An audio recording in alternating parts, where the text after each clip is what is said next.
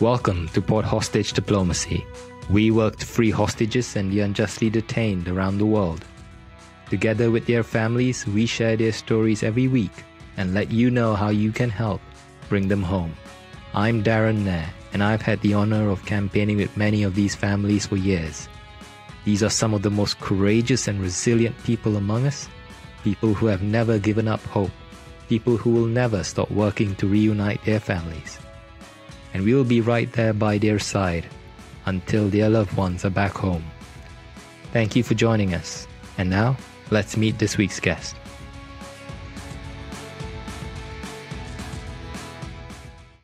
Welcome to this week's episode of Pod Hostage Diplomacy. Today marks 1,000 days since Paul Whelan, an American citizen from Michigan and a former United States Marine, has been unjustly detained in Russia. The U.S. Ambassador to Russia, John Sullivan, has stated the following about Paul. As long as I am here in Russia, as long as I am the U.S. Ambassador to the Russian Federation, I will keep advocating for Paul, for fair treatment, and for his immediate release. My colleagues and I will keep visiting him and assuring him of our support and I will continue to call on Russian authorities to correct this miscarriage of justice, to right the wrong, and to let Paul go home. Paul belongs at home in Michigan with his family, not in a Russian labor camp.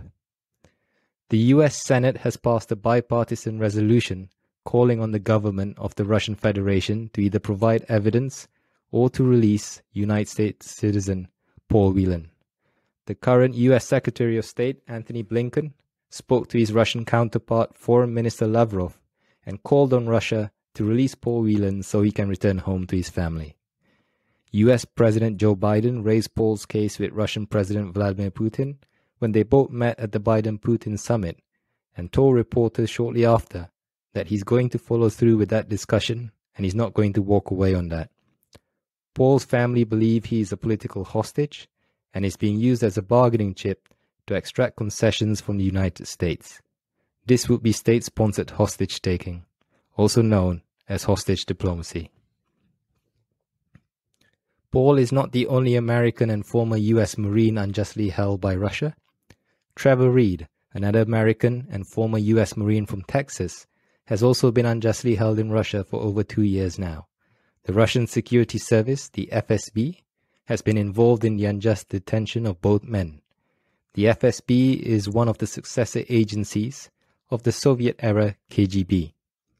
There appears to be a pattern of American citizens and former US Marines in Russia being targeted by the FSB. The current US travel advisory for Russia, issued by the State Department, has a level 4 do not travel rating. This travel advisory states the following do not travel to Russia due to terrorism, harassment by Russian government security officials, the embassy's limited ability to assist US citizens in Russia, and the arbitrary enforcement of local law. Reconsider travel due to COVID 19 and related entry restrictions.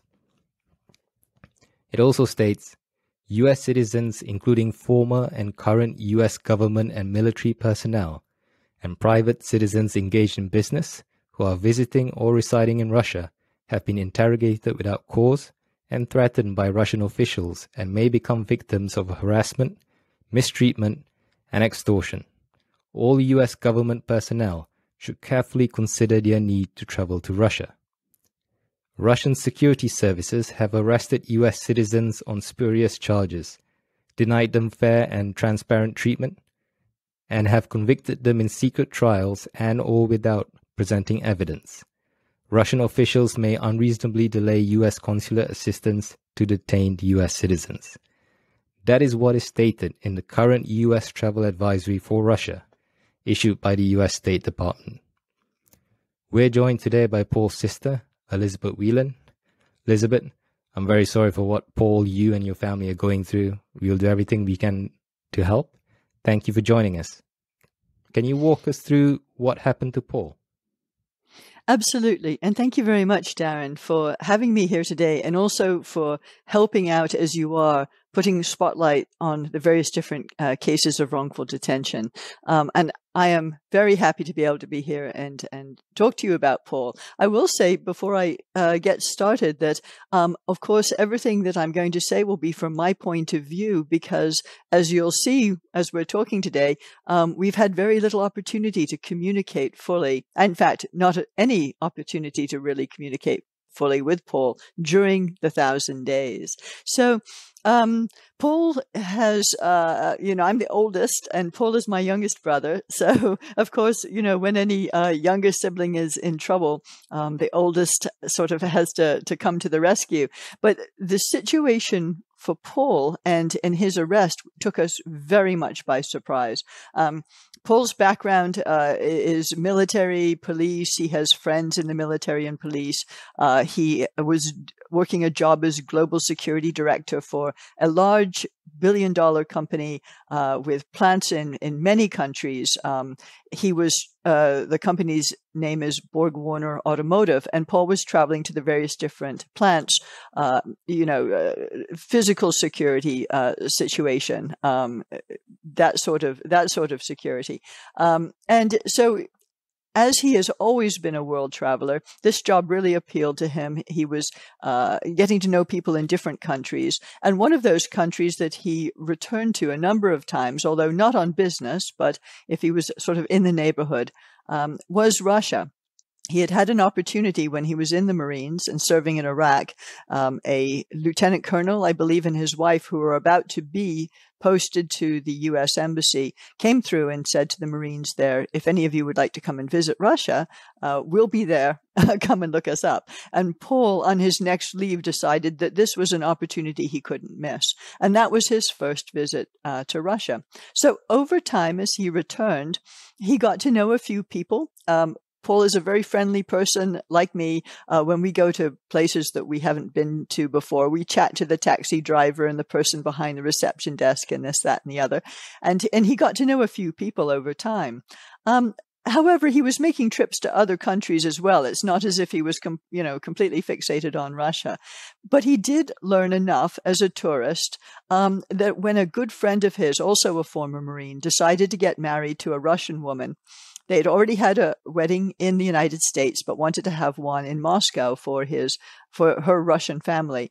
Um, they asked Paul, "Could you come and help with the American guests? Could you help uh, take them around?" Uh, tour them around Moscow, help them with the subway and that sort of thing. And Paul is the sort of person who is going to say yes to a friend, uh, even though it meant that because of the timing. He was going to have to be away from his own family over Christmas. He wasn't going to let his friend down. And that's what he was doing uh, in Moscow in the first place. So he was there as a tourist we were hearing from him uh, via email and and uh, photos he would send uh, how things were going. Uh, when Paul goes on trips to any country, he always uh, sends emails, mostly to to me and my uh, parents, um, with pictures of his breakfast or whatever happen, interesting things he happens to see, and a line or two of what's going on. So you know, nothing nothing exhaustive, but um, you know, so we were hearing about this, that, and the other, and then the wedding was on a Friday.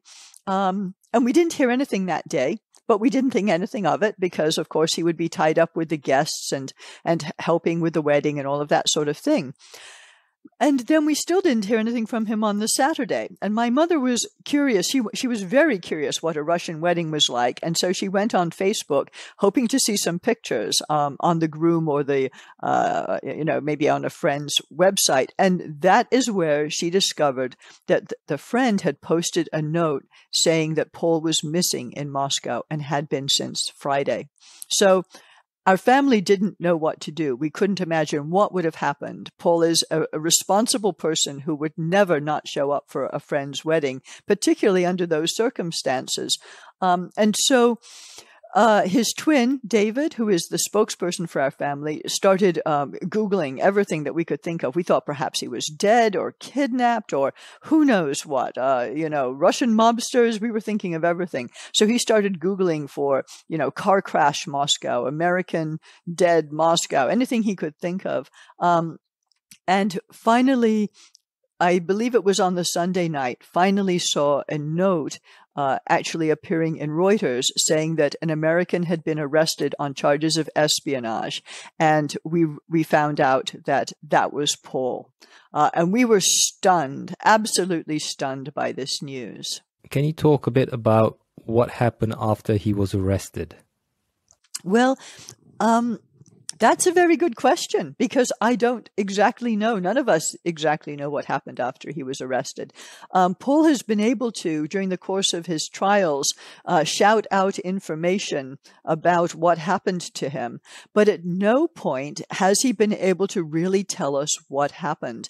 Even when consular officials, ambassadors, everyone who has gone to visit him over the thousand days, uh, at no point has he been allowed to talk about his arrest or what happened. Um, what we understand based on reports from the trials and from what Paul was able to say was that a person he had known for 10 years or perhaps even a bit more, um, who he had uh, had a, a, you know reasonably close friendship, but perhaps uh, uh, the sort of friendship you have when you go to visit a country a number of times and you see a person over the course of a decade, you feel that you know them a little bit. Uh, this person showed up and gave him um, what he thought was going to be a flash drive with vacation pictures on it, uh, and then very shortly after that, within minutes, um, the FSB burst into his hotel room. He was getting ready for the wedding and arrested him. Uh, and so I'm sure when Paul actually is released, we will get the full story. But this is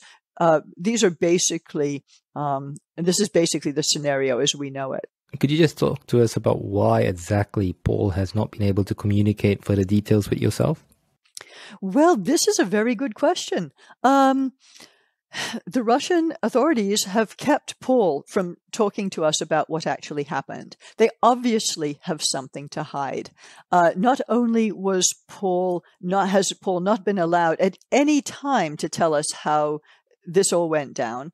Um, he was kept away from U.S. consular visits for days after he was arrested.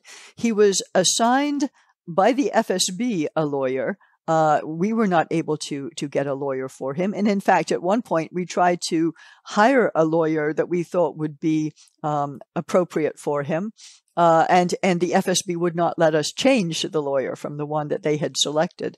Um, as it, as it is, that situation has turned out to be just fine. But uh, at the time, we were we could see obviously that Paul was being kept by the Russian authorities from any sort of communication that would tell us what was going on. Um, and at the same time, they were intimidating him, harassing him, trying to coerce him into a false confession of espionage.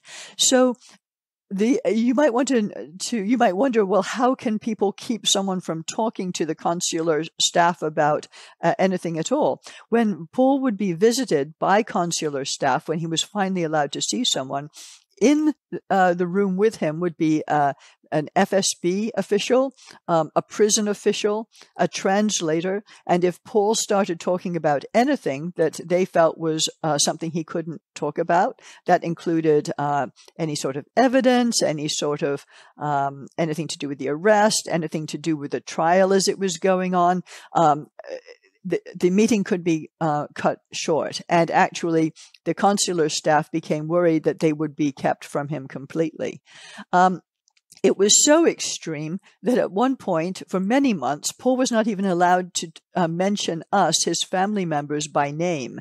Uh, the consular staff and Paul, if they were talking about me, for example, would have to say your sister or, or refer to us in some other roundabout manner. Um, he was not allowed to, to use um, proper names. So, I mean, just the most extraordinary restrictions, obviously meant just to uh, to cause roadblocks, to be psychological um, impediments, to to just royal, be royal pains in the ass, basically. You mentioned Paul received consular visits, which is good. Um, and I know he was born in Canada to British parents of Irish descent and moved to the US and lived in Michigan with his family which is why, in addition to being an American citizen, he's also a Canadian, British, and Irish citizen. So he received visits from not just the US Embassy, but also the UK, Canadian, and Irish Embassy as well. Is that right? Yeah, so we we moved to uh, the United States when when Paul was fairly young, and he was one of the first in our family to get American citizenship, actually. Um, and uh, from the moment he was born, he also had British citizenship. And then um, Ireland, not too long ago, um, started allow allowing foreign born nationals who had um, Irish ancestry to get Irish citizenship, and both Paul and I uh, became Irish citizens that way um, to honor our heritage. And uh, this proved to be very useful in this situation because when Paul was arrested, he was able to ask for all four embassies to come and visit him. Um, and over time, um, for example, if uh, the MFA has some sort of beef with the US and won't allow the US to go and see Paul, one of the other countries has been able to step in and make a request. So he has been able to have consular visits, but they have not been easy to acquire. The MFA will ignore requests until the last minute. Um, they will not respond to any diplomatic notes. Um, it, it, has been it has been a tense situation. We have been so thankful, though, for the support of all four countries. So when you say MFA, you're talking about the Russian Foreign Ministry. That's right, the Ministry of Foreign Affairs. Unfortunately, we've become all too familiar with all the acronyms that people are using. So I'll try to I'll try to make sure that I am specific about who I'm talking about. So when Paul was arrested, the first prison he was brought to was the Lefortovo prison, right? There are many issues such as they were blocking Privacy Act waiver and power of attorney. Could you talk to us about why these documents were important for Paul? And um, the issues you encountered as well. Uh, Lefortovo is a is a notorious prison, um, uh, notorious uh, for uh, the the tortures and, and, interrogations that have gone on uh, historically, uh, and also for its terrible condition. It's pretty run down. Um, not a great place for an American to be. And I believe the last time an American was held in Lefortovo on espionage charges was Edmund Pope, um, uh, sometime around 2000. He was he was held there also. So we were not at all happy to find out that this is where Paul was going to be taken. Um, when the consular uh, visitors were able to go there, they were able to get some information, of course, about what was going on. But as you mentioned, the Privacy Act waiver um, is a document that needs to be signed in order for the consular, for the State Department to share information with other branches of government. So, for example, members of Congress who we had alerted to this situation and who wanted to find out about Paul, um, they needed to have Paul's permission, in other words, for the State Department to release this information. So, the Privacy Act waiver is a wonderful document unless you've got a situation like we did in Russia, where the authorities refused to let the U.S. citizens sign the document.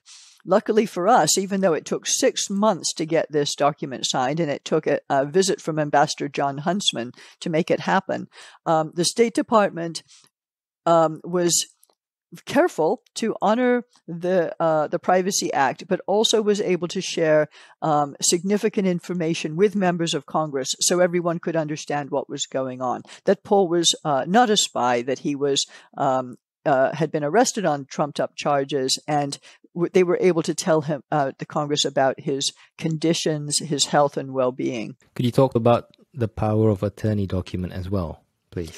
Yeah, so another problem that uh, many people don't realize, but when um, when you get wrongfully detained by a foreign government and thrown in a notorious prison, uh, somebody has to keep paying your bills. Somebody has to be able to access your bank account, your credit cards. Uh, you know, if you're held for a long time, to make sure you're not in trouble with the IRS. Um, it it can managing um, someone's personal uh, affairs when they're being held like that is is extremely complicated. And so a limited power of attorney is what most families end up trying to to seek so that somebody back in the United States can keep things going. Well, the Russian authorities weren't any happier about letting Paul sign that document. We uh, sent translated versions, side by side translated versions. It went on and on. Finally, we were able to get a limited power of attorney signed months and months later. And it took then months and months to unwind the problems that had been created during that uh, that time. Uh, it it was just stonewalling and roadblocks put up by the Russian authorities for for no good reason um, other than to cause trouble. So, how long exactly was Paul kept in Lefortovo prison before his trial? It was about 18 months, if I remember correctly. His, um, his, so he was arrested on December the 28th, 2018. His trial did not take place until 2020. Uh, so in the spring of 2020, um, we finally started hearing that uh, a trial would take place. He had been given numerous hearings before that where he was able to make appearances, but the trial itself, um, it, it, took months and months until they got around to uh, coming up with a date. During that time, and, and since, no evidence has ever been presented to show that Paul was engaged in anything resembling espionage. Uh, not, not during the, the trial, which was actually held in secret, uh, not beforehand at the hearings, and not since. So, can you talk to us about the trial? I know it was an unfair trial. Paul called it a sham trial. Can you talk to us about the trial itself and what the issues were? Absolutely. Um, as I said, uh, uh, so the the the Russian lawyer does not speak English, um, but had another lawyer he hired to work with him who uh, did speak English and who ended up working um, sort of as a translator uh, for Paul. But at the same time, our family did not have communication um, uh, directly with them. Paul was their client. We we were not their client. So our knowledge of exactly what was uh, shown to him as quote unquote uh, evidence or uh, what sort of documents he was given, uh, we don't know about. All we know is what the media was able to report. During his hearings, media were often able to attend them. Paul was in one of those glass aquarium cages uh, with guards around. Um, he was uh, uh, the trials were conducted in Russian. Paul does not speak Russian. Um, finally, um, he started getting uh, uh, pretty belligerent. We were pleased to see uh, he wasn't going to take this lying down. Uh, he, his strength and courage during these hearings and the trial absolutely amazed us, and I'm so proud of him for it. Um, he started just talking over the judge, uh, you know, yelling to the, the media the, the facts that he could give them before he got shut down. He took pieces of paper wrote pertinent facts on uh, that he, he thought the media would be able to repeat in their news stories. Uh, held that paper up to the um, up to the cages for the uh, photographers to take pictures, which was really good because sometimes his sound was cut off when they didn't like the fact that he was was yelling over the judge. And it is from from that, from his uh, courage, from his uh, being obstinate, not letting the situation um, stop him from speaking out. That is how we know anything at all about what happened in the trial. So during the the hearings and during the trial, uh, people from the, the various uh, embassies showed up, ambassadors showed up to, to give him support. They weren't allowed into the trial itself, but they were allowed to hear the sentencing afterwards, and they were allowed to see some of the, the hearings that went on. So Paul knew that there were people from the government, from the four governments, as a matter of fact, there. He knew that there was media, uh, Western media, that were reporting on him. Um, and I believe that probably gave him some hope and courage. So we have a sham trial. We have an American and former Marine being taken on bogus charges, held in prison in deplorable conditions. So I understand the reason for this is because Russia would like to swap Paul or would like to use him as a bargaining chip to get the US to swap prisoners with Russia. So it's my understanding, based on media reports, that the Russians want an arms dealer or a drug dealer to be released in exchange for Paul. Could you elaborate further? Yes. Um, well, as you, uh, you hit the nail on the head when you say media reports, because we don't actually, the Whelan family has no idea why Russia has done this. Um, and uh, if if they have asked for anybody of that nature, if they have actually asked the U.S. government for these people, we don't know that either. Um, from the very start, the the Russian lawyer mentioned that it was possible the Paul had been um, arrested in order to have a trade for these two people, and media outlets latched onto this story and wouldn't let go. Um, but they also wouldn't let go of the idea that Paul was, uh, you know, a spy like 007 because of all of his passports until finally that situation was, was cleared up. So we don't really know what uh, you know that we've we've heard the same uh, stories that um, that Russia wants to swap this person or that person. We have no idea what Russia wants, and we have no idea um, whether these reports are, are legitimate or not.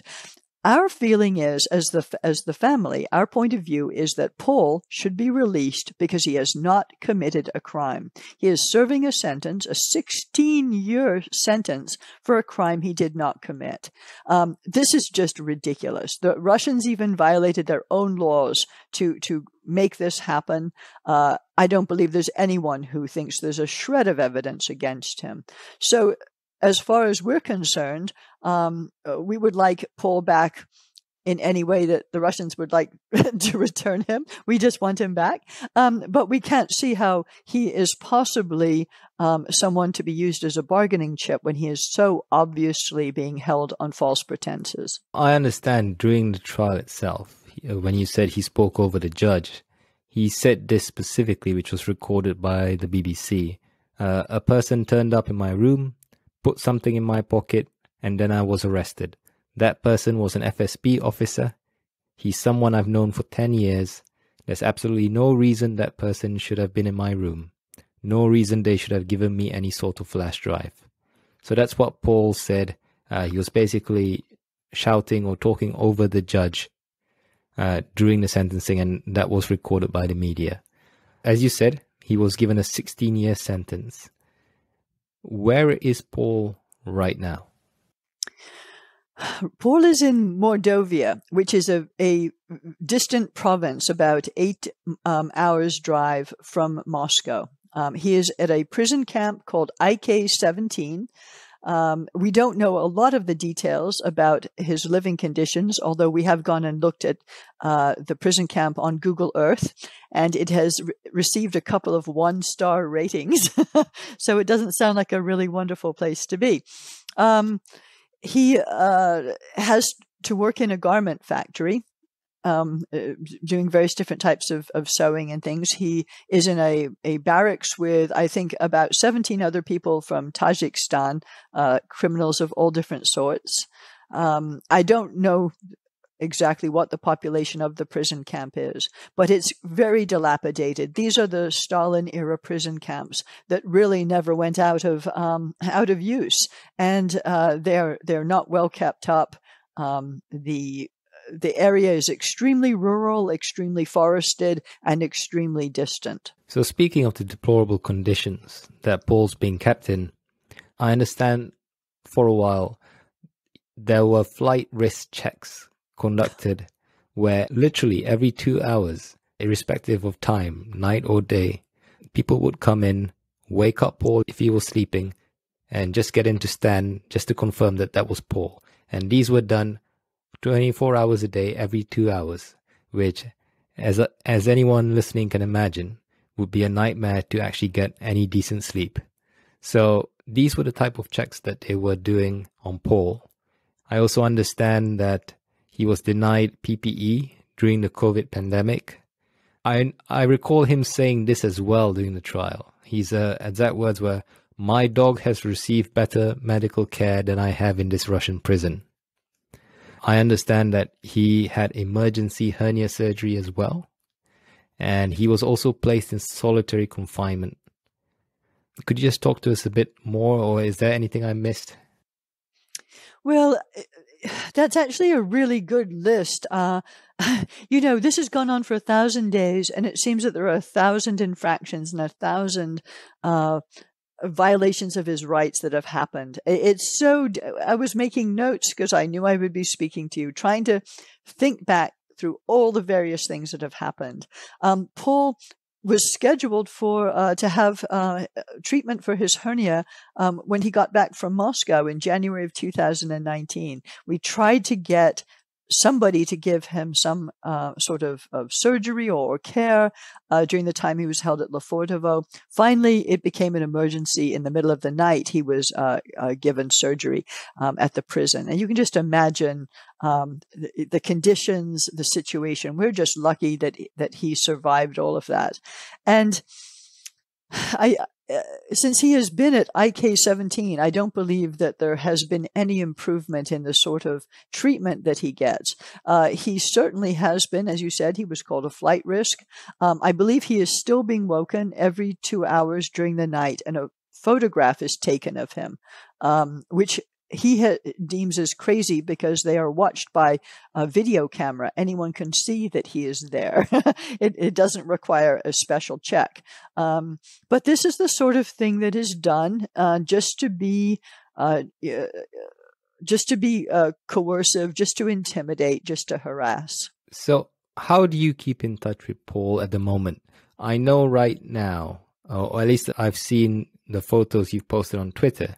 You do send and receive letters from Paul. Is that right? So I know yes, he also yeah. numbers them so you can tell if any have been missed or if the Russian authorities have decided to confiscate any of these letters. Yes, this is true. So the first 18 months when he was held at Lefortovo, we had no phone calls at all. We had no opportunity to speak to Paul directly. The only people, the only American voices or, or people speaking in English that he got to speak to at all were the consular visitors from the different embassies.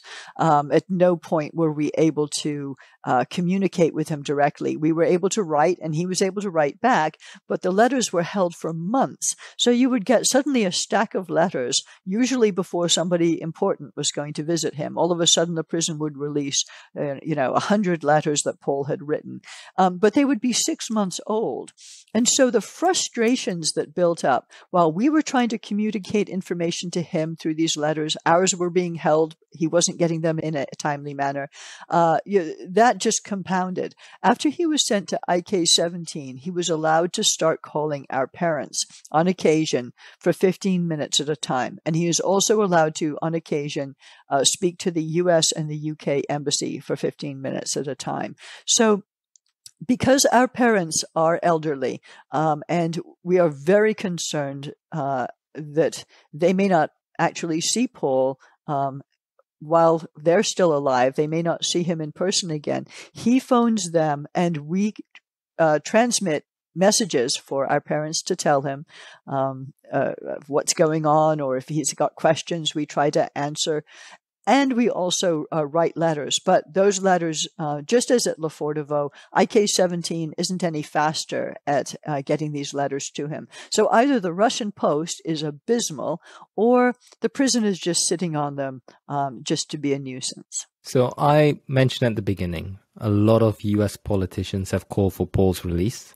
The US ambassador to Russia, John Sullivan, Secretary of State Antony Blinken, the US Senate, many members of the House of Representatives, as well as President Biden.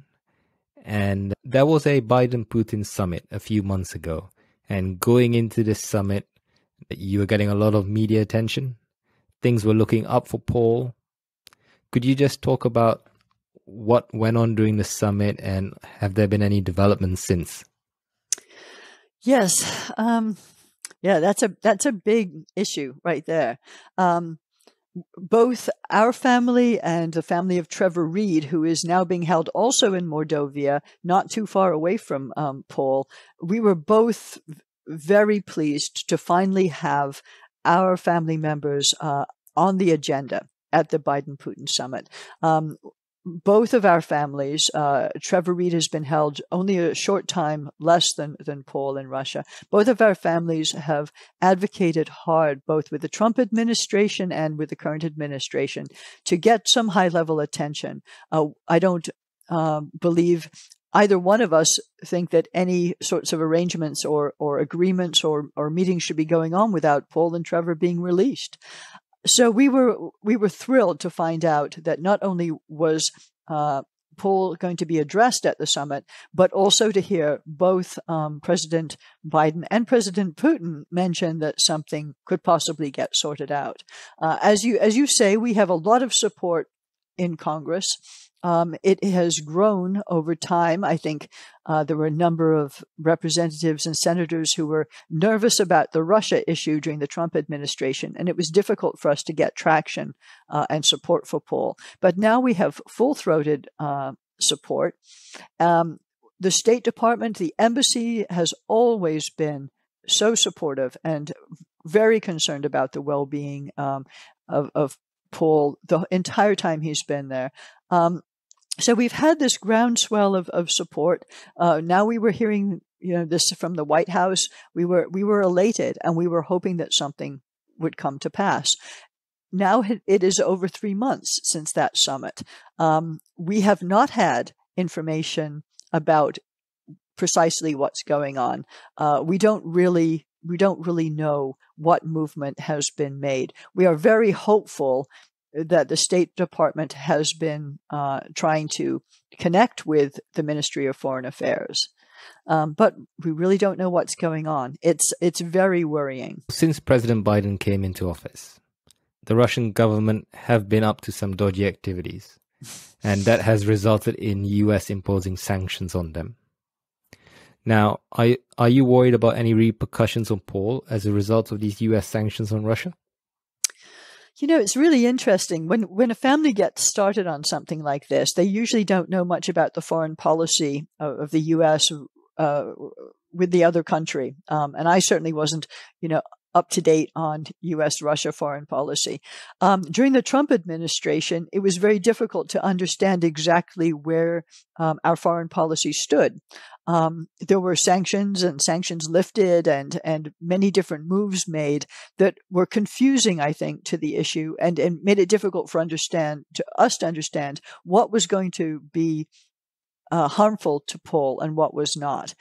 So in the early days of the Biden administration, not much seemed to be happening on the Paul front, in part because there was a, a, a concerted attempt to get a Russia foreign policy nailed down to understand how we were going to engage with Russia and go forward.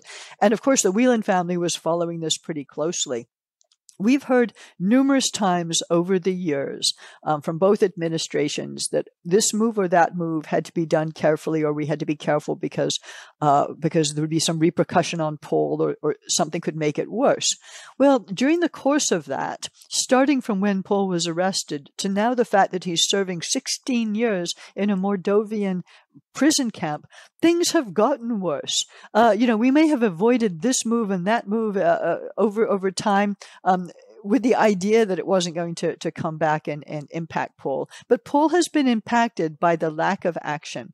I don't know where we stand right now in terms of doing what uh, both President Biden and President Putin alluded to in terms of working something out. But I do know if we don't start seeing some movement, I'm going to be very hopeful that the US government starts getting an awful lot tougher with Russia than they have been so far. And I would also like to see US citizens and their release be put at the forefront of foreign policy in general in Russia and with other countries. I absolutely agree with you, and I'm sure every other American family with loved ones held hostage or unjustly detained overseas would say the exact same thing. So you have a public campaign. It's called the Free Paul Whelan campaign. You and your siblings are leading this campaign. Now, I've campaigned with many families of loved ones held hostage and unjustly detained around the world for years. And many of these families are advised to keep the captivity of their loved ones quiet, either by their State Department or Foreign Office or whatever the equivalent of that office is in their respective country. They are told by their government, don't go to the media, keep this quiet, let us work on this behind the scenes. We will have a better chance of getting them released if we keep this quiet. So many families tend to trust their governments, their foreign offices, their state departments. And after a few months, if not a few years, they realize that no real progress has been made. And the only thing that's changed is they've lost this amount of time and their loved one has continued to suffer in prison or in captivity, wherever they're being held. So a lot of them tend to get upset, or a lot of them say, if we had to do this all over again, they would go directly to the media on day one. Now, you have a public campaign. Did you go to the media on day one, or did you keep quiet for a while and uh, try to let the government handle this behind the scenes first? Can you just talk to us about what happened in your case? Yes, absolutely. Um, and it was complete probably complete ignorance on our part, but we went to the media right away. Um, so a number of things were happening all at once when Paul was arrested. It was the Russian holiday. They were stopping consular um, access. Uh, they did until I believe it was a, almost a week before they let anyone in to see him. We uh, couldn't uh, talk to. Um, we didn't know what his if he had legal representation or what was going on. Uh, we didn't weren't able to communicate with anyone in Russia. We don't speak Russian, um, and so almost immediately, my other two brothers and I put our heads together and realized we were going to have to start taking some action and uh, sort of divided up um, organically tasks between us in terms of, of who could do what. And uh, I work for myself. I'm most flexible. So I took, and I took on uh, starting to contact members of Congress and all of that sort of thing. Our brother David uh, took on the role of spokesperson because he he uh, well, he's very good at it. He's used to public speaking. And now we're all quite used to speaking in public. But at the time, I was scared to death of talking to the media about what the right thing would be to say. And David, who has done a, a, quite a bit of public speaking, knew that he would be able to talk and speak for the family. So he immediately start putting, started putting information out there. But also, we were somewhat helped by um, this by the FSB themselves, or whoever released the report to Reuters that put out there that an American had been arrested. We started being contacted by people because we could be found on Twitter. Uh, we were not inaccessible.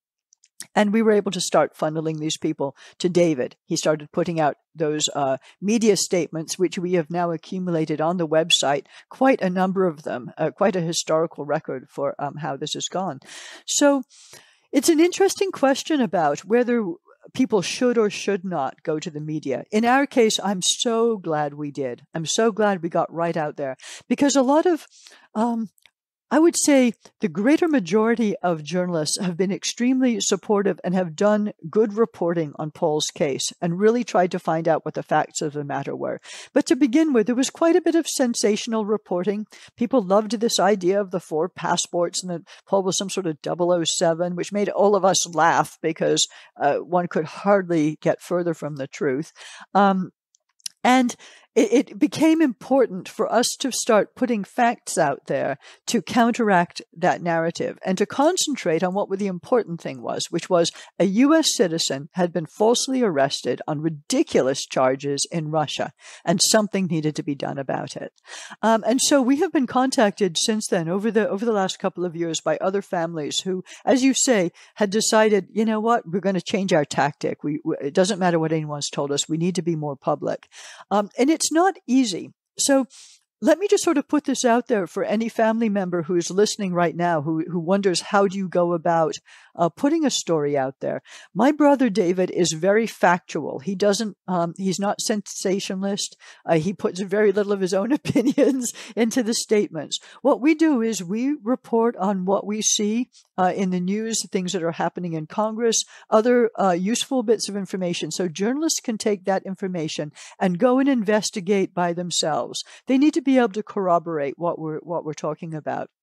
And to begin with, uh, the local TV and radio stations, for example, in Michigan, um, were the most interested because Paul is from Michigan. After that happened, national news and international news started picking up the stories. But you have to be willing to get out there with the facts and to give people consistent information. And if you do that, they will have an interest in the case and follow it. I think what's difficult for families over time, and we have noticed this, um, you know, right now, Paul is in Mordovia in a prison.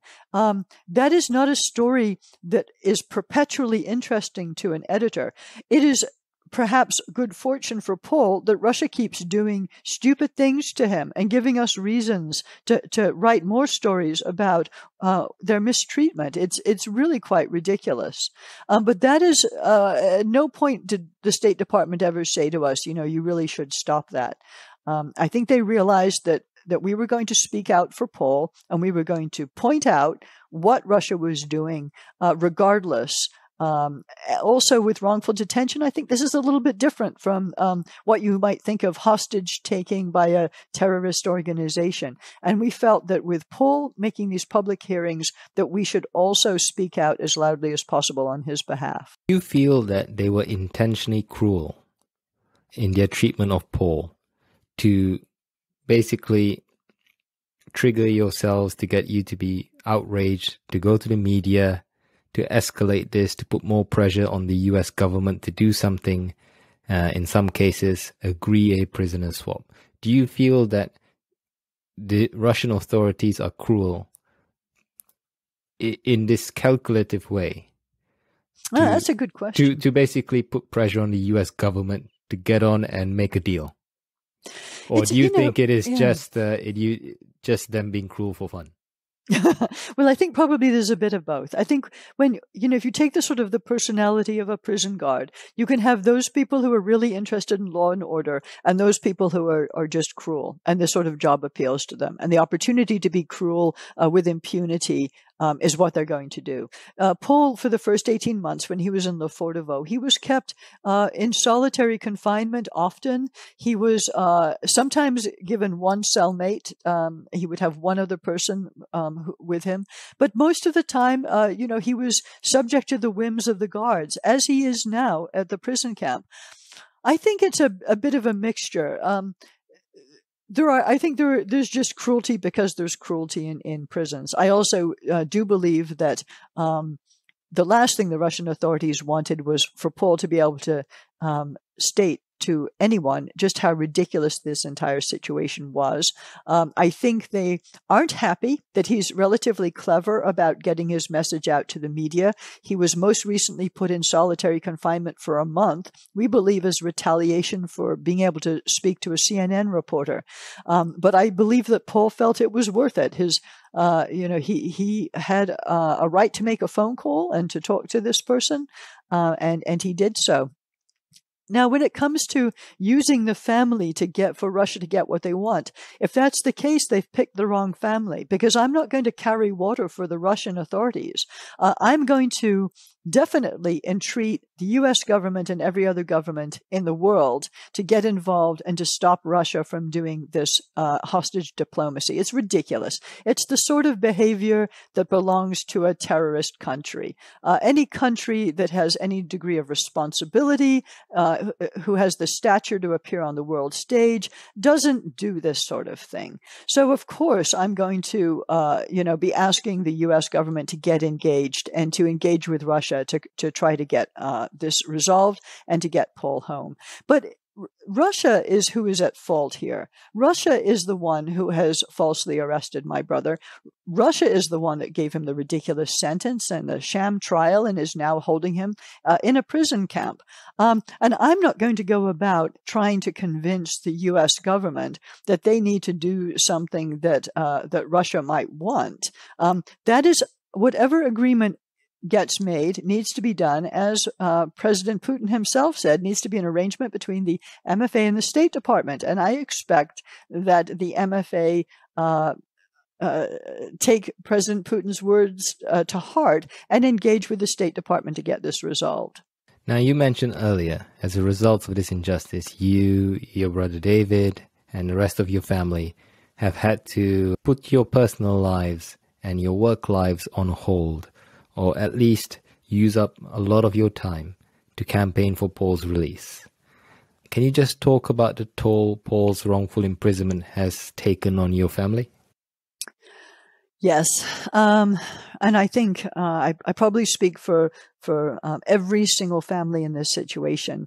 Um, our, our, situations aren't identical. The countries are different, the crimes are different, but I believe um, for th- those families whether publicly or privately advocating for their loved one, um, our loved one is in jail but we are also in jail. We are being uh, held prisoner, not just by uh, the country that holds our loved one. We're also uh, jailed by uh, the restraints put on us by our own government, by uh, not being able to get support at various different times um, for uh, the entire advocacy uh, issue, uh, what it takes. You're not able to get away from it. You're, you're, no matter where you go, you can't take a vacation and say, "Well, I'm just going to not think about my brother in jail." Wherever you go, this prison you're in goes with you, and this takes a real psychological toll.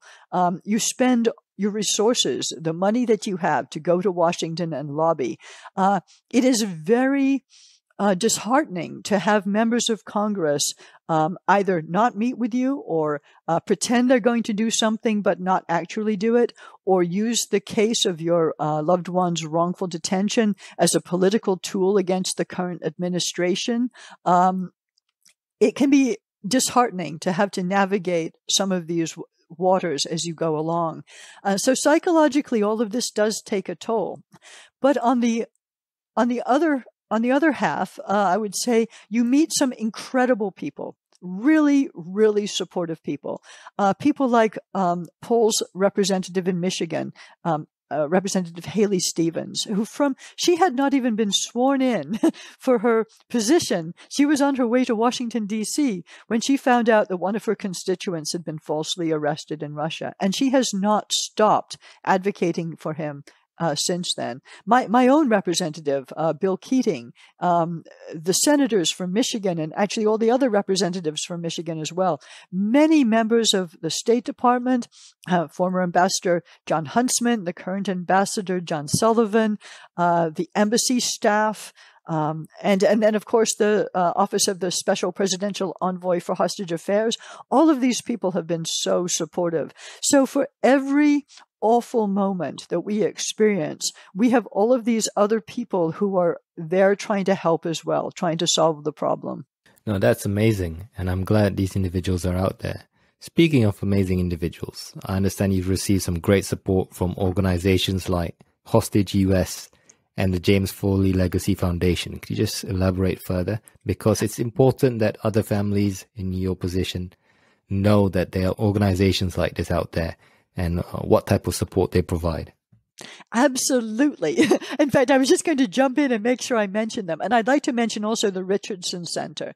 So when we started um, trying to to meet with members of Congress and get support and, and tell Paul's story over and over again, we we weren't sure what to do. We weren't getting much engagement. Um, uh, we were getting great help from the U.S. Embassy in Moscow, but we weren't getting great help from the State Department in D.C. at that time. Um, American Citizen Services was very good, but higher up at the more political level, it was a real problem. Um, we weren't sure how we were going to get the um, right amount of U.S. government support to solve uh, the situation and help get Paul released. And so the Richardson Center was one of the first organizations that we uh, managed to uh, connect with who, who said they might be able to, to give some support and some help, perhaps go and talk to uh, people in DC and, and try to move things along. We also, I'd like to also mention um, the very wonderful lawyer Ryan Fayhee of Hughes, Hubbard, and Reed um, in DC, who um, gosh, he contacted us and said, It sounds like you need help. I can tell that Paul is not a spy. Absolutely no way. Uh, I used to work in the Department of Justice, and I can help introduce you to some people that might be able to, to get this along. And then as we went along, we met, uh, as you said, the, the James Foley, uh, the James W. Foley Legacy Foundation, the, their staff, um, Hostage US, an incredible organization that um, gives help and support to family members as they're going through these sorts of ordeals and also helps detainees and hostages when they come back unwind all the problems that have been created during their absence. Um, these organizations, if, if you're a person who who a loved one has just been wrongfully detained, look these people up online and get in touch with them. Even if you think your case doesn't fall within their requirements or you're not quite sure if they can help you, they will listen to you. They will try to connect you to people who can help.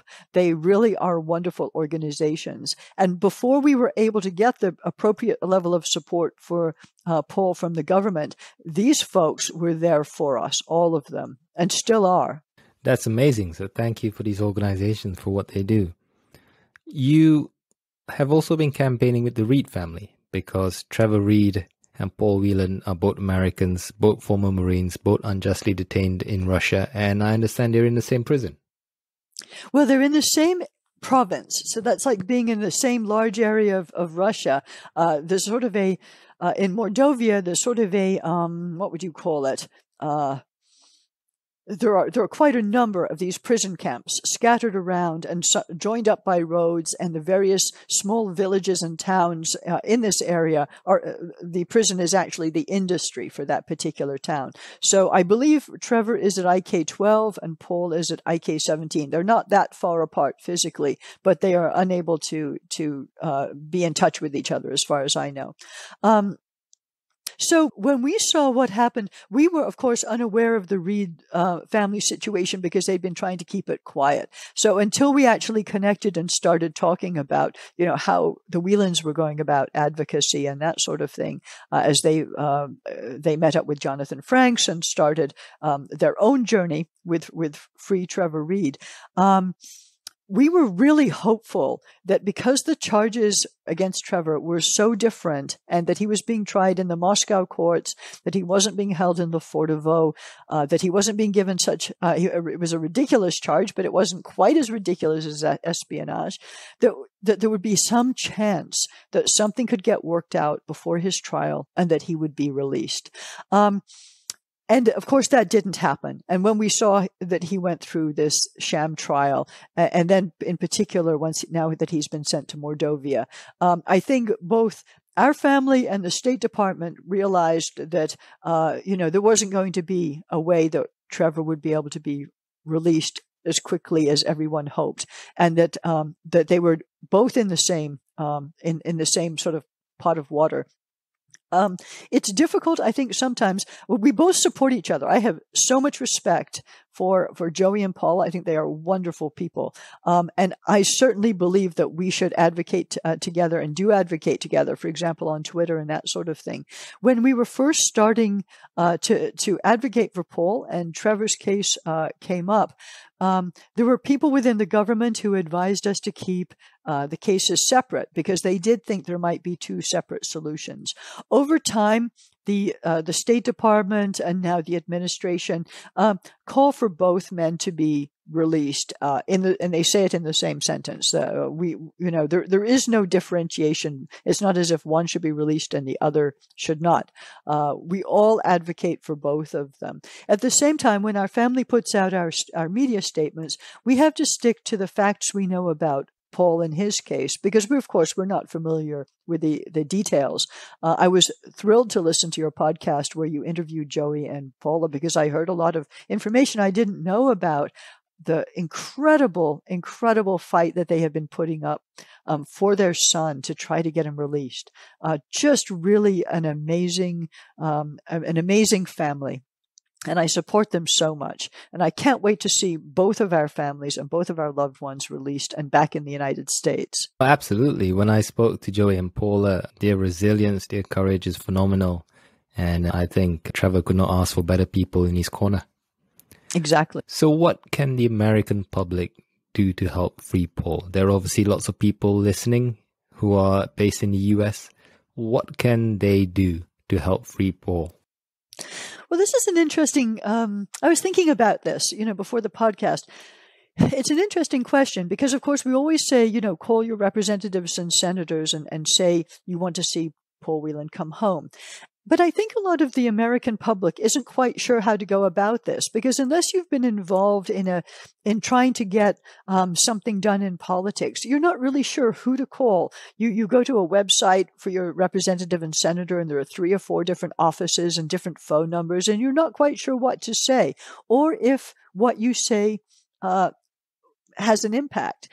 And so, what I've discovered from spending an awful lot of time on Capitol Hill is that your voice really does count, much more than you might think. Because a, a, citizen might go, well, gosh, you know, is my member of Congress going to pay any attention? Um, you know, I'm a little scared. I'm not going to make the call. Meanwhile, the member of Congress is going, gosh, my constituents don't seem to be all that interested in this topic. I'm not going to talk about it. The, the, the, citizen themselves goes, gosh, my member of Congress hasn't said anything about it. Maybe he's not supportive, so I'm not going to, to reach out. And so this sort of cyclical inaction takes place. So I am here to tell you because I have heard it. I have sat in people's offices. I have listened to the people answering the phone in in uh, representatives and senators' offices. They take note of every single call that's made. So who you want to call is the DC, the Washington DC office for your senators or your representatives because they're the closest to the action. The district offices are great, but if you really want to get to the heart of the matter, call the Washington DC number. You don't have to know us personally or know Paul or be from Michigan or, or uh, make calls for Trevor, uh, who's from Texas. You can call any representative, any senator in the country and say you want to see them supportive of the release of Paul Whelan and Trevor Reed. You want to see these Americans come home, that you are uh, concerned that you haven't heard more in the news and you would like your member of Congress to speak up. And this will make a difference because the more people who call that um, that representative, when they get the report daily or weekly from the legislative aide who answered the phone, um, they're going to say, hey, we got three calls, 10 calls, 30 calls about Paul Whelan. This is something that you need to pay attention to. And all of a sudden, they're asking their foreign policy person to give them the latest on Paul Whelan. Uh, and I myself communicate with many of these staffers to let them know what's going on. So your voice really does make a difference. You know, if you want Paul and Trevor home, call your House of Representatives, call your local representative, call the senators for your state, call everyone. call all 535 members of Congress and tell them that you want to see Paul and Trevor home. The other thing you can do is you can, uh, we don't know, I don't know if we have an, if there's an address for Trevor Reed yet, but there is for Paul Whelan. You can go to uh, our website, which is freepaulwhelan.com. And there, uh, on, on one of the pages there, there is a, a prison address where you can write to Paul. Uh, like I said, the prison will sit on the letters for a good while, but he does seem to eventually get them. And he would love to hear from fellow Americans. You have to remember for a thousand days, he has hardly heard anyone speak in English. He has, uh, when he was in Lefortovo, he was denied books in English for months and months. Uh, even now, he hears Russian all the time. You know, to send some photos of of you know wherever you are in the U.S. to talk about the the weather you're experiencing right right now, what the sports teams are doing. He would love to hear from it from you. Um, it do, it doesn't matter what you say. A letter from the U.S. to Paul would be really welcome. And then lastly, we also have a GoFundMe page, Free Paul Whelan. If you go to um, the GoFundMe website and just search for Paul Whelan, you'll find it. Um, he's had a lot of support over over the uh, a thousand days, and we're so glad of it because when he was at Lefortovo, literally the U.S. Embassy had to go and shop for him for food, for for toothpaste, for toilet paper. Even none of these things were supplied by the prison. So if we hadn't had the help of citizens out there who were just, you know, didn't even know some of them didn't even know Paul, but were willing to give him um, some assistance. It has made all the difference. And even now, the supplies and food and such that Paul gets at the prison is augmented by uh, what is brought by the embassy because the prison supplies very little and certainly nothing that's really nutritious. So when the embassy does go down to make the eight hour uh, drive down to, to see Paul, they take groceries and things. And that comes out of the GoFundMe because our family doesn't have the means to uh, to, to support somebody in a Russian prison um, for, for all of these years. The money also goes to help Paul make these international phone calls to speak to his parents, which is such an incredibly important uh, way to support Paul is for him to have this lifeline back to the United States again. Uh, so it, it's extremely valuable. Um, and we thank everybody who has contributed, uh, who is writing to Paul, who sends him postcards and letters, uh, and who has called their members of Congress to, to help get more support. Thank you for that. That's a phenomenal list of things that members of the public can do to help. So that's that's great. So it's freepaulwhelan.com. Exactly. It's the website. And if you're on GoFundMe, just look for Paul Whelan. And you can follow uh, us on uh, Free Paul Whelan um, on Twitter as well, uh, and we have a uh, a Facebook page. Um, so we try to different people want to access the information in different ways. We try to keep people updated um, as to what we've heard. Uh, we can't always uh, talk in detail because uh, you know I personally am not speaking to Paul directly, but he is able to give some messages to our parents that we can pass on and and post. And we also, um, if we are hearing interesting things, which we sometimes do in the Russian media, we're able to use these platforms to also uh, alert journalists and alert interested people that, that something interesting or odd is going on uh, about Paul's case in, in Russia. So the U.S. State Department has a special office within the State Department called the U.S. Special Presidential Envoy for Hostage Affairs and the individual with that position is Ambassador Roger Carstens. So, what can the U.S. Special Presidential Envoy for Hostage Affairs, also known as SPEHA, do better to help you and your family bring Paul home? Well, first of all, I, I just want to say that Ambassador Carstens is the most amazing fellow, and everybody who works in that office are they're just phenomenal. Um, you know, they are the cream of the crop. Um, I, I cannot say enough about about all of them and about the support that they give us. Um, so the Spe- Office of the Special Presidential Envoy for Hostage Affairs, which we call SPEHA because that's a mouthful. So S-P-E-H-A, SPEHA is how we refer to them. Um, this was created, uh, I guess, about mm, seven years ago now, six or seven years ago, under a directive called PPD 30 uh, during the Obama administration to try to help uh, families and efforts within government um, to be more organized for helping hostages and the wrongfully detained.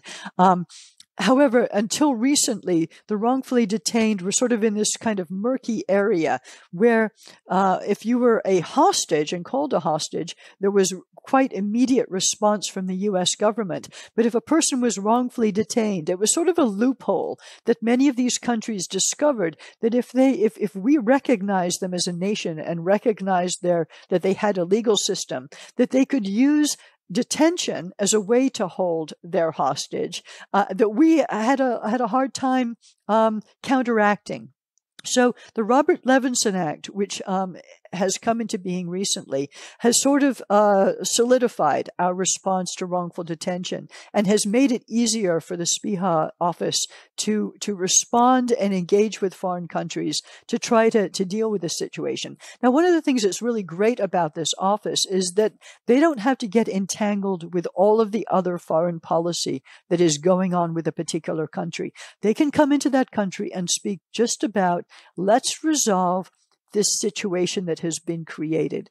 Because oftentimes, and which I think happened with both Paul and with Trevor, you have a lower level individual somewhere in the security services who decides to take some sort of initiative on their uh, on their own without necessarily a directive from higher up and ends up arresting somebody who someone higher up then later decides could be possibly useful.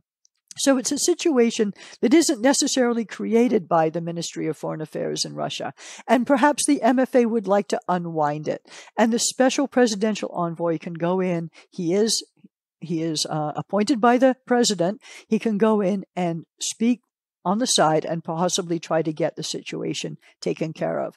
So I will say that um, this is one of those offices that has the, uh, a few of the people who've occupied that position have not engaged with me. Let me just be quite frank about it. I couldn't get a meeting in the Trump administration with the people who were in that position. Um, during the time that Paul has been arrested, we've gone through, uh, you know, we've seen two presidents, uh, two different um, ambassadors to Russia, three different people in the SPEHA position, um, three different national security advisors, uh, two different secretaries of state, count countless members of Congress changing. So there's been a lot of churn. Um, I was overwhelmed and so thankful when the current SPEHA uh, Ambassador Carstens, when his office reached out to me um, in early in 2020 and finally said, "Look, you know, we're, we're, going to take on Paul's case. We feel this is a wrongful detention, um, and we want to we want to sort this situation out." And so you know, I can't I can't say enough about them. What I do think, however, it's not so much about what more can SPEHA do to help us. It's what more can the rest of the U.S. government to do to help SPEHA. So this is a relatively new group. They're sort of put on the side of the State Department.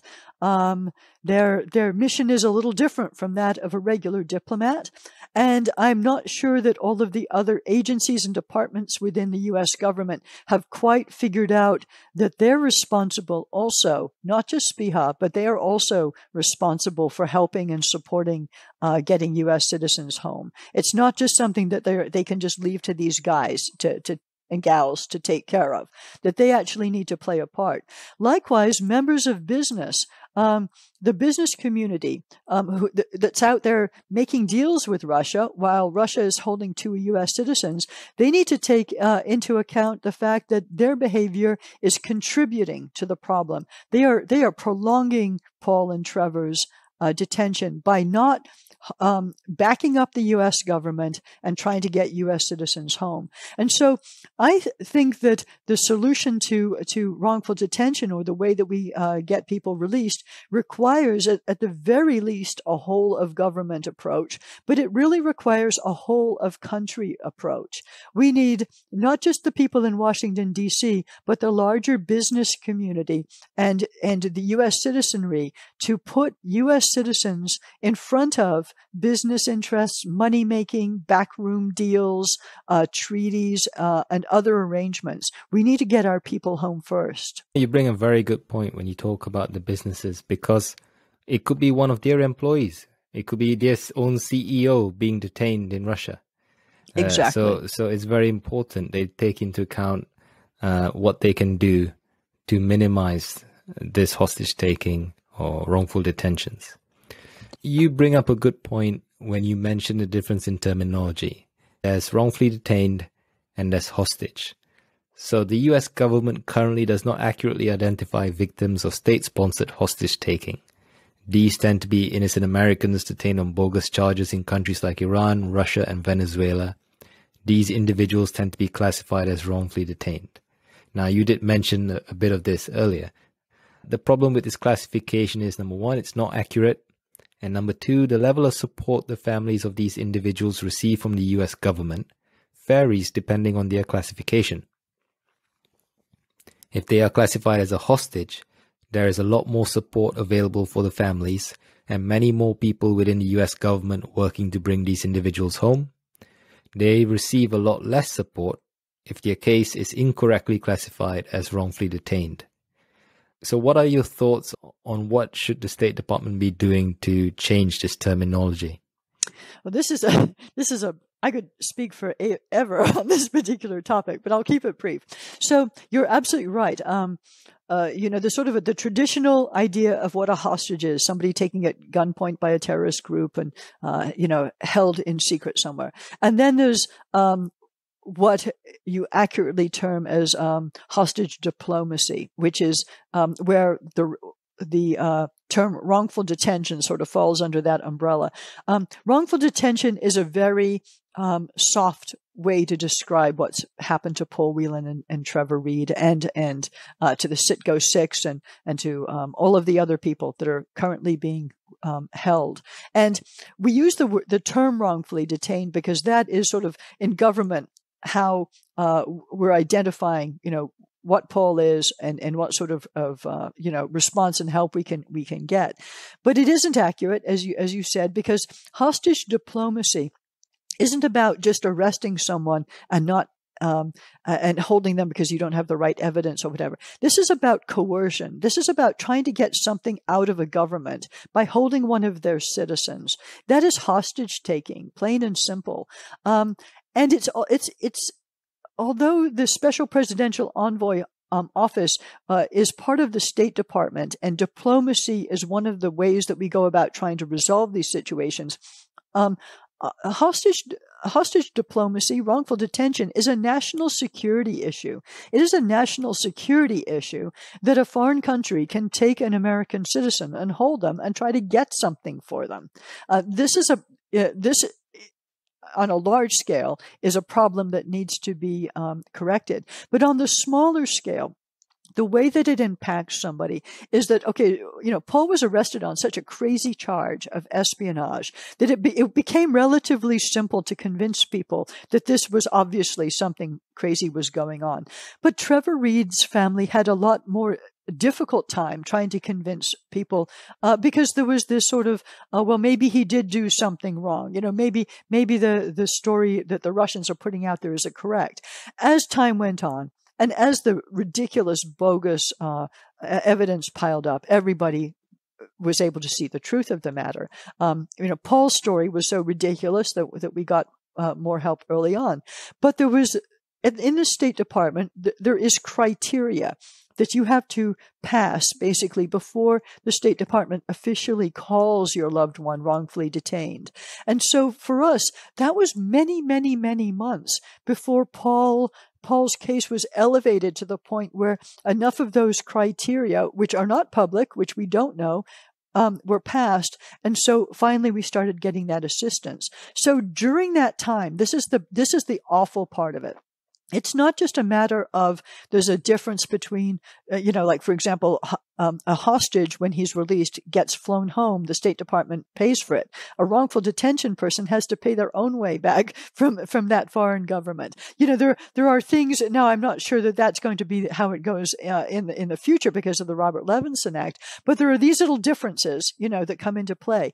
But what the really harmful impact of not um, giving someone that wrongful detention classification is that members of Congress and the public and the media think there must be reasons, there must be a reason that the State Department and the government knows uh, maybe that person has did do the thing that that foreign country is is accusing them of. Because if they didn't why is the president not speaking out? Why is the secretary of state not speaking out? Why are they not being called wrongfully detained? Why when a member of the media approaches the press secretary why can't they get them to say those two words? And it it it sows seeds of doubt that that poor person who is being held in that um, prison, who is trying to be strong and courageous, and who feels that their government's going to come and rescue them, and doesn't know that their government is actually undermining them every single day, that they're not being given the appropriate classification, and that that classification is the trigger to get things like the special presidential envoy to talk about the case. I couldn't even get access to that office until this process had happened. And it was over a year in the making. It was one of the most horrible ordeals that a, a family could possibly go to. And in fact, it was so horrible that I wrote a guide, a resource guide for families of the wrongfully detained uh, that that I have circulated to the uh, NGOs that we spoke about early, earlier, the James Foley Foundation, Hostage US, Richardson Center, um, to, to tell people Families like me who knew nothing about approaching uh, anyone in DC had no idea how the State Department worked in these sorts of situations, giving them some clues about what I did and how I went about it so that they can follow the same process. So you asked, what can the State Department do differently? My feeling is that the criteria has improved.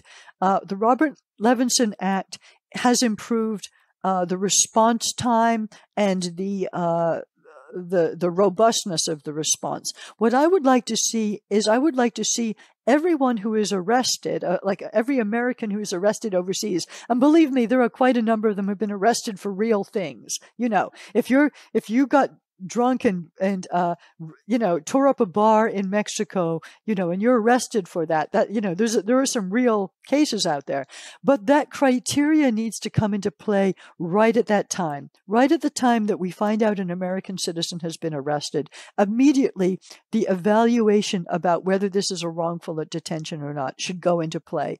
And if that American citizen has been arrested on the charges of espionage, that should send up a huge, enormous red flag that says there's a very good chance that this is bogus. There's a very good chance that there is no way that this person was actually committing um, espionage. I feel we should have had a response to Paul's case within days, if not hours, of him being arrested, uh, not years, which is basically what it turned out to be. Earlier this year, within a few days of U.S. Secretary of State Antony Blinken being sworn into office, he had a call with the families of Americans held hostage and wrongfully detained overseas. You were on that call. What is your impression of Secretary Blinken and how is this different from the previous administrations you've dealt with? well, it's night and day.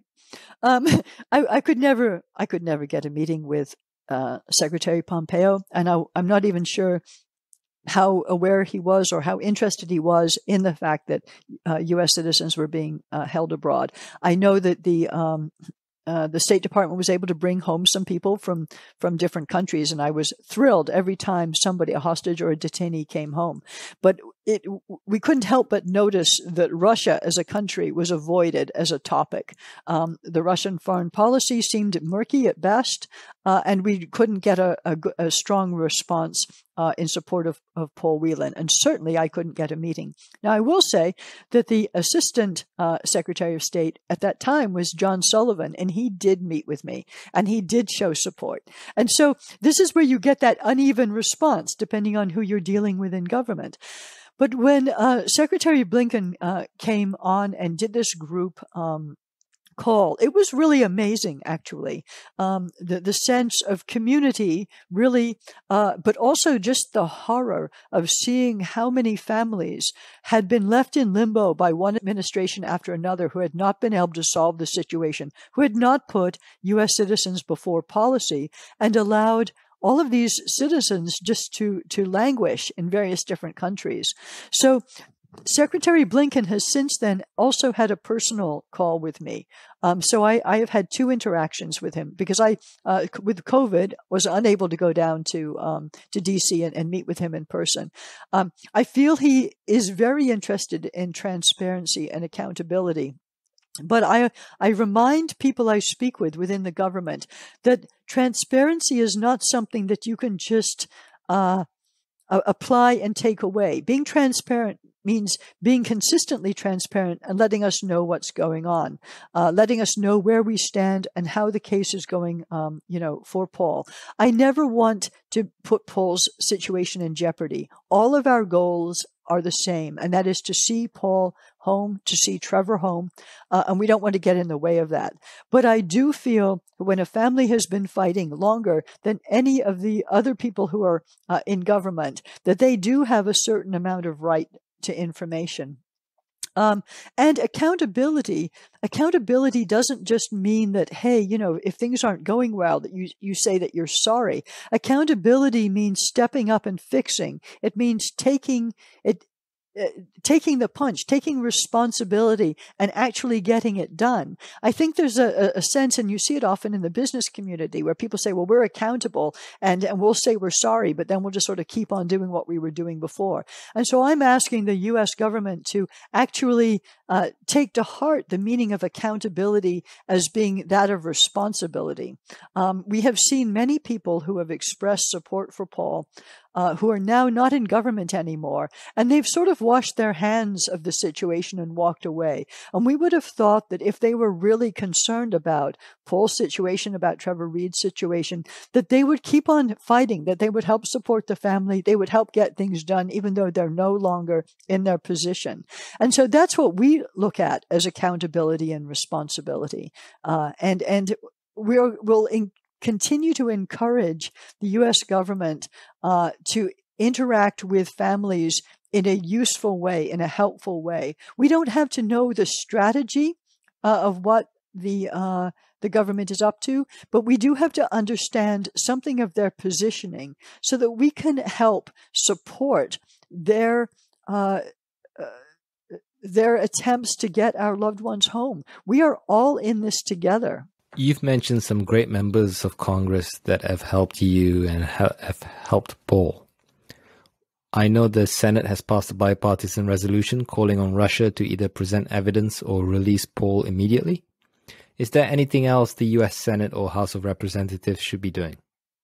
Well, um, that's actually the second resolution for Paul that's been passed. In 2019, in the uh, 116th Congress, um, a, a, the uh, the House of Representatives um, passed a unanimous uh, resolution, and so as time went on and his trial happened and he had the medical emergency surgery and all of these other people spoke out, the Senate resolution um, sort of built upon that first resolution and, and, as you said, recently passed. There is now a second House resolution, basically the third resolution for Paul, which is now uh, uh, obtaining co-sponsors. I think we have 37 members of the House signed on to that now.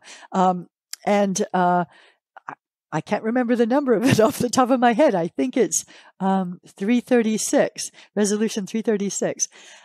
But that's definitely something that if, if people want to, to help and want to support and want to ask their member of Congress to do something, they can ask them to co-sponsor the most recent resolution for Paul Whelan.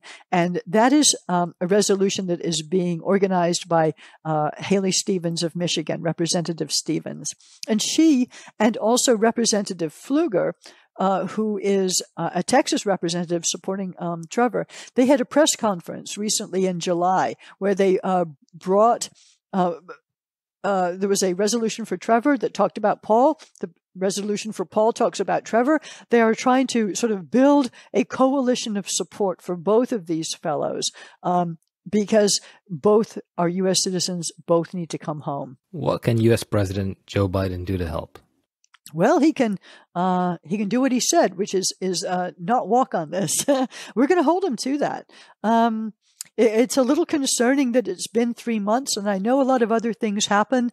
Uh, you know, Afghanistan being being one. I mean, obviously, we expect the government to to turn and do all they can in a situation like that.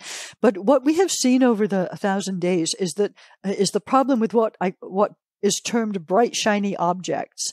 Um, you know, uh, one thing after another comes along. You know, the latest media sensation, the, you know, coronavirus, you know, Afghanistan, those are real problems. But they don't suddenly erase the other problems that were already out there. And I think what happens is a new administration comes in. We hear all these wonderful statements about, about Paul. I'm sure the Reeds feel the same about Trevor. Almost immediately there was this, you know, there were statements being made, press secretaries saying this, that, and the other. It was all really wonderful. Then we have the summit. Fantastic as time goes on and other problems start to build up on top of these two U.S. citizens and, and their issue, we are constantly afraid that, the, that their problem gets swept away because they're two individuals and they're not thousands or millions of individuals. And this is where I would like to remind the U.S. government that their being held is a national security issue. It is not about Paul Whelan and about Trevor Reed and what they did or did not do in Russia and what, you know, Russia is trying to accuse them of.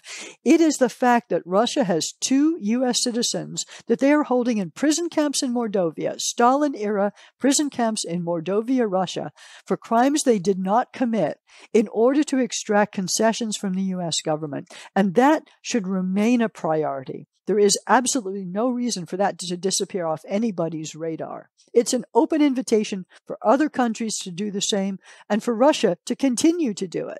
Uh, they need to be stopped. So you mentioned bright, shiny objects, and that's absolutely mm-hmm. right. Whatever is the media sensation today is what the government focuses on. So it's basically firefighting. What can journalists and the media do to help free Paul? What can they do better? So I'm going to assume the first point is uh, exactly what I said for Trevor Reed is to stop repeating Russian disinformation and always ensure you get the US government side of the argument when reporting on Paul's case. Is there anything else that the media should be doing? Well, that's absolutely true. Um, although I have to say that sometimes, um, you know, the stories are so incredible that we're actually glad that some of them get repeated in the Western press because they're so ludicrous that the more reputable journalists call up David and say, this can't possibly be happening or, or what you have to say about that. And we have an opportunity to actually clarify whatever uh, because of course you know in russia the state sponsored in fact i think isn't it all state sponsored media at the moment? So we never quite know how to take some of the things that we see that come out in, in the press. But i have to say we've had an, some amazing support from media uh, based in moscow who uh, took great personal risks themselves to report on Paul's case uh, and to and to make sure that his story got out. And I think that um, uh, perhaps it's not even so much uh, journalist support. Sometimes we have to remind editors that this is, is, an important story, and whether or not it feels sensationalist or not, and how many clicks you're going to get, it's important to continue to shine a light on wrongdoing uh, on this Russian malevolence, this taking of U.S. citizens, uh, and, and to keep holding them to account. The media has the power to do this. And I feel they have a responsibility to do it as well. But I'm not going to beat up on the journalists because they really have been wonderful um, and they have given a lot of, of support and they have um, told Paul's story very fairly. Uh, definitely shone a light on, on this lack of evidence um, and they're trying to report the best they can on his situation in Mordovia. Um, what can they do better? I would just say keep at it. You know, keep asking uh, the press secretary uh, what's going to happen. Uh, I would love to see someone stand up um, and and uh, talk to the White House and ask. You know, it's been over three months. It's been a thousand days that Paul's been held. Uh, President Biden said he wasn't going to walk on this you know, we'd like to see some stepping up here. So, Elizabeth, we're almost at the end of our interview. Is there anything else you'd like to talk about? Well, of course, I had made a little list. and so there are a few things I'd just like to point out. Number one, you brought up the travel advisory, which is at level four right now. And I'm very glad to see it is because anybody right now who goes to Russia or does business with Russia, you are putting yourself at risk and you really need to think that through. Uh, 200,000 Americans a year normally before COVID would travel to Russia. Uh, any one of you could become a victim. Any one of you could be put in jail. Uh, people do say, well, perhaps because Paul was uh, a, a, former Marine, that is one of the reasons that he was arrested. But I honestly think that any tourist is at risk. Paul was there as a tourist. It had been many, many years since he was in the Marines. He was working in a different type of job, a different sort of capacity, and he was arrested while trying to help out a friend at a wedding. Um, please do take these travel advisories seriously. And if you're a business person considering any type of business uh, with Russia, I would look again at Michael Calvey's case and what has happened with him and really reconsider. I hope that uh, the U.S. keeps this travel advisory at level four, at least until Paul and Trevor come home. And the other thing I'd like to point out, and perhaps this is something that journalists might uh, think is somewhat interesting and, and want to follow up on. Um, we talk a lot about how President Biden said he wasn't going to walk away from uh, from Paul and Trevor's cases. But President Putin also had some words to say uh, at that summit where he basically said that it was going to be up to the uh, MFA, the Ministry of Foreign Affairs, and our State Department to sort this out. Well, it's been three months, and I think it's rather bold of the MFA just to ignore President Putin uh, and not uh, take him up on, on this directive and just decide that they can uh, ignore this and, and not get it worked out. Um, I think, uh, uh, particularly when uh, there's a possibility that the president might be reelected in this in this upcoming election, um, I, am surprised that they would uh, risk themselves in this way by by not going ahead and doing as he requested and getting this sorted out with the State Department. So I, I hope to see some movement in that direction in the near future. If any of our listeners would like to send a message of solidarity to the Whelan family or have any questions, please post them on Twitter using the hashtag PodHostageDiplomacy and we'll respond. If we get many questions, we'll have a separate Q&A episode with Elizabeth to answer them. Elizabeth, thank you very much for joining us. We really hope Paul is freed and comes home soon. Until then, we'll be right here by your side. Thanks again for joining us.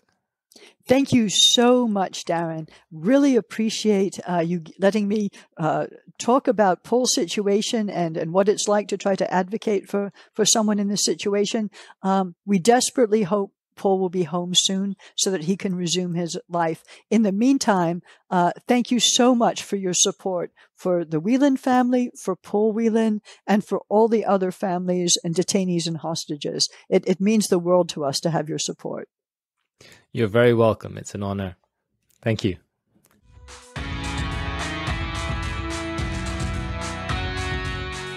Thank you for listening to this week's episode of Pod Hostage Diplomacy.